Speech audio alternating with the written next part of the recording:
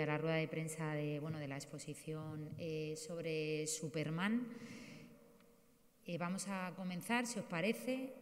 hoy, como sabéis, a las 5 de la tarde inauguramos la exposición Superman, lo nunca visto del superhéroe. Me acompañan el comisario de la exposición, Carlos Martín, y Javi Olivares, de la botella de Cándor, y autor del libro Lo que quizás no sabías de Superman y yo creo que antes se lo comentaba a él y le comentaba a Carlos, creo que es el mejor embajador que podemos eh, tener del, superhéroe. Hoy teníamos previsto que nos acompañase también el superhéroe, que estuviera eh, aquí Superman, pero eh, por lo visto los superhéroes no tienen poderes contra la COVID, así que pues no ha podido, no ha podido ser y bueno, pero yo creo que estoy muy bien acompañada.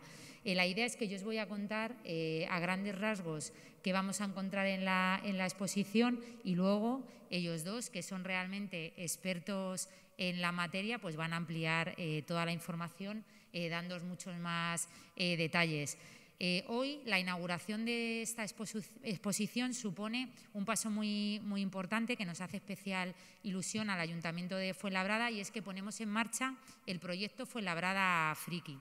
¿Cuál es el objetivo de este proyecto? Bueno, pues el objetivo de este proyecto es desarrollar una programación estable en la ciudad de Fuenlabrada para todos los aficionados y aficionadas del mundo friki, que cada vez eh, somos más y que bueno alberga a, todo el abanico de, tipo de, público, público familiar, público juvenil, público infantil. Yo creo que este, que este sector, que este mundo eh, no entiende de, edades y bueno, queremos eh, empezar a programar una programación muy potente a lo largo de este año 2022. ¿Qué acciones vamos a llevar a cabo? Eh, bueno, pues vamos a hacer exposiciones como esta que hoy inauguramos, la de Superman, pero además a lo largo del año 2022 vamos a desarrollar también, vamos a celebrar dos exposiciones más, una sobre El Señor de los Anillos y otra sobre Star Wars.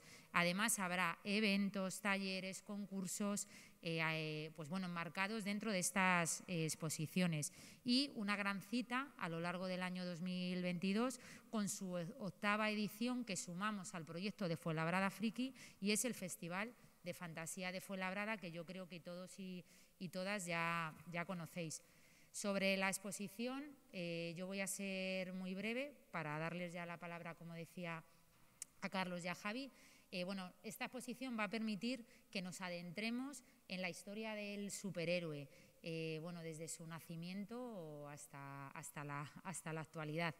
Eh, nuestros vecinos y vecinas o toda la ciudadanía que quiera disfrutar de la exposición va a poder eh, ver en detalle y disfrutar de más de 300 figuras, muchas de ellas inéditas y exclusivas, va a estar funcionando desde esta tarde a las 5 de la tarde, hoy 20 de enero, hasta el 17 de abril. El acceso es gratuito para todos y todas.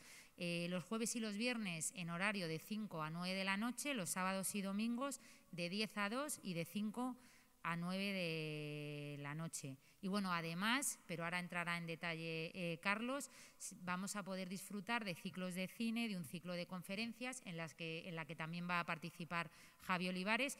Y bueno, tenemos algunas sorpresas que todavía no podemos eh, desvelar y que bueno, iremos contando y os iremos eh, anunciando a lo largo de, los tres meses que va a durar esta exposición.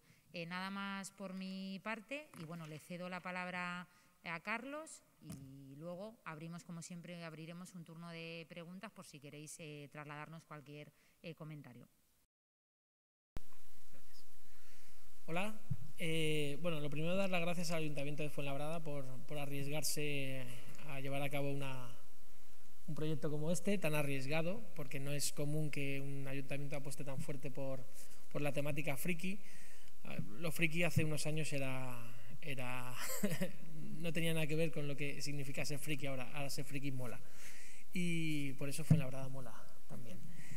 Nada, la idea es, es pues eso, lo que, lo que ha explicado ella, hacer una, un, proyecto que gire en torno a, toda esta temática.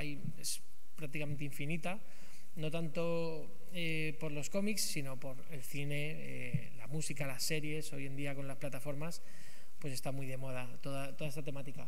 Eh, empezar por Superman era lógico porque pues, fue el primer gran superhéroe que, el mundo conoció, del primero que se hizo una gran película.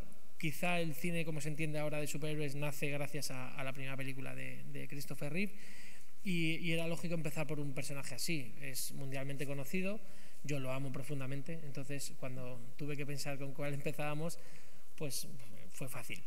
Eh, Fuenlabrada Friki pretende pues, llegar un poco a toda la población. Es un, pretendemos que con todas estas exposiciones sabemos que es muy familiar la temática, entonces esto le gusta a un niño de 8 años y le gusta a un cuarentón como yo y a, un sesentón creo que también.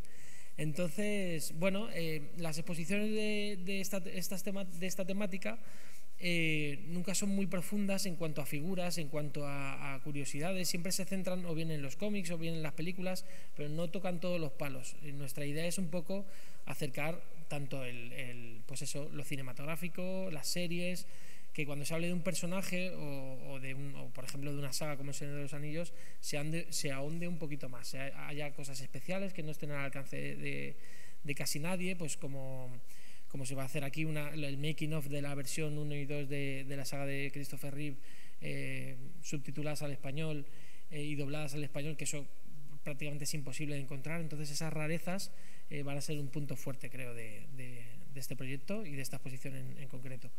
Y poco más, pues eh, haremos un montón de actividades alrededor de, cada temática, de cada, de cada exposición y reiterar el agradecimiento a Mónica, a Valentín y al alcalde y bueno y al ayuntamiento de verdad que han hecho posible que hoy un friki como yo esté aquí eh, presentando bajo un graffiti de 6x10 de Escamez, que he de decirlo, Escamez un gran artista urbano, como podéis ver. Y nada, poco más, que espero que os guste, que espero que a la gente le, guste y estemos aquí muchos años friqueando, que es lo suyo. Os dejo con Javi, que es el, el verdadero maestro de Superman. Para nada, para nada. Bueno, buenas a todos y a todas, ¿qué tal estáis? Yo soy youtuber de cosas frikis, así que estoy más cómodo detrás de una cámara que delante de un micro, esto es así. Pero bueno, agradezco que todo el mundo haya venido también, agradezco, como ha dicho mi compañero al ayuntamiento, que sea capaz de montar algo así. Creo que esto son cosas muy importantes porque hay mucha gente que todavía no le da al mundo de los superhéroes, al mundo del cómic, al mundo del cine, el valor cultural que tiene y no lo consideran como una parte del arte. Yo que me dedico a esto sí que entiendo que esto funciona así y que de hecho veo diariamente los números de la gente que sigue canales como el mío, pues que esto realmente tiene un público amplísimo. Y de hecho creo que es ya no solo necesario, sino casi imprescindible que haya gente que apueste por exposiciones como estas. Además, como experto que me presentan, que es una palabra que no, no me gusta, pero, pero bueno, vamos a decir que algo sé de Superman, tengo que decir que la selección de piezas que hay aquí es estupenda. Eh, de hecho, algunas piezas son, como han dicho, inéditas. Yo no las había visto prácticamente en ningún sitio o en ningún sitio directamente.